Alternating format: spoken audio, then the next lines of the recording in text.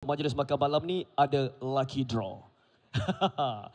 Jadi kita akan mulakan pusingan yang pertama untuk cabutan bertuah.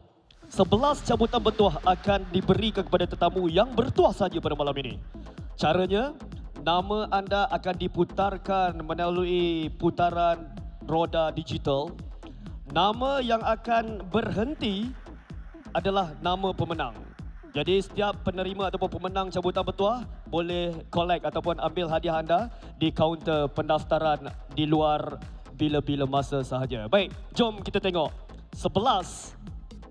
Okey, itu dia nombor yang pertama. Nama yang pertama yes. pada malam ini. Lelaki ataupun wanita yang bertuah yang pertama sekali adalah...